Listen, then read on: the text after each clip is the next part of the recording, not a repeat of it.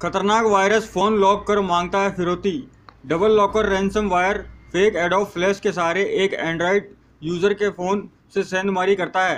आप अगर Android users हैं तो सावधान। इन दिनों एंड्रॉयड स्मार्टफ़ोन पर एक रैंसम वायर डबल लॉकर का खतरा मंडरा रहा है। डबल लॉकर यूज़र्स के स्मार्टफ़ोन का पिन चेंज कर डेटा में सेंधमारी कर फिरौती मांग रहा है।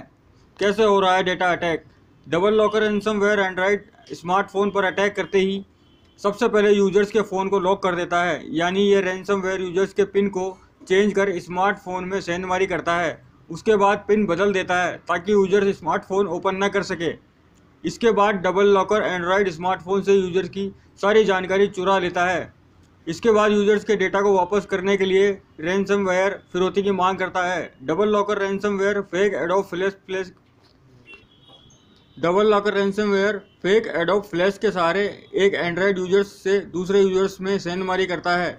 यह रैंसमवेयर एंड्रॉयड स्मार्टफ़ोन में सेंधमारी करके हमें होम एप्लीकेशन में डिफ़ॉल्ट के तौर पर सेट हो जाता है। उसके बाद जैसे ही यूज़र अपने स्मार्टफ़ोन के होम बटन के टैप करता है डबल लॉकर एक्टिवेट हो जाता है और डिवाइस को लॉक कर देता है।